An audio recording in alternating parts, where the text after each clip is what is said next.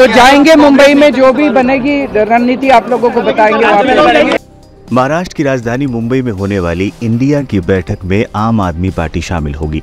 इस बात की पुष्टि आप संयोजक और दिल्ली के मुख्यमंत्री अरविंद केजरीवाल ने कर दी। केजरीवाल का ये बयान ऐसे समय में आया है जब कांग्रेस और आप नेताओं के बीच बयानबाजियों का दौर जारी है। दिल्ली में सीटों के बंटवारे को लेकर कांग्रेस नेता संदीप दीक्षित और अलका लामा ने आप और केजरीवाल पर हाल फ़िलहाल में कई हमले किए हैं। इस पर आपकी तरफ़ से सौरभ भारद्वाज की भी प्रतिक्रिया सामने आई है। और हाल के दिनों में अरविंद केजरीवाल ने जिस तरीके से छत्तीसगढ़ और मध्य प्रदेश में धुआंधार जनसभाएँ और रैलियाँ की, उस पर भी काफ़ी चर्चाएँ हो रही थी। पहली गारंटी 24 घंटे बिजली, फ्री बिजली, नवंबर तक के सारे बिल पुराने माफ़। शिक्षा की गारंटी, मध्य प्रदेश के सारे सरकारी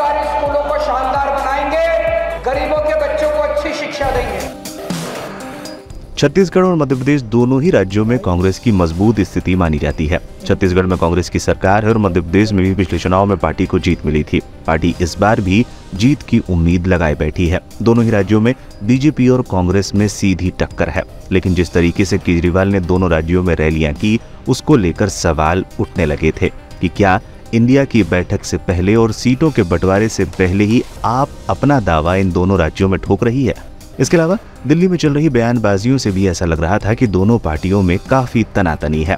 लेकिन केजरीवाल ने साफ़ कर दिया है कि वो मुंबई में होने वाली इंडिया की बैठक में जाएँगे। इस पर अब कई तरह की चर्चाएँ शुरू हो गई हैं।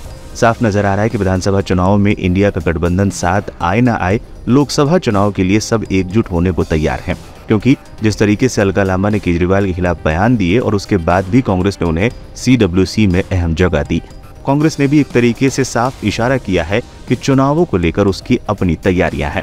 ऐसा ही कुछ हाल पश्चिम बंगाल में भी है। इंडिया गठबंधन में टीएमसी और कांग्रेस तो है, लेकिन कांग्रेस नेता अधीर रंजन चौधरी टीएमसी और ममता पर हमला करने का कोई मौका नहीं गवाते।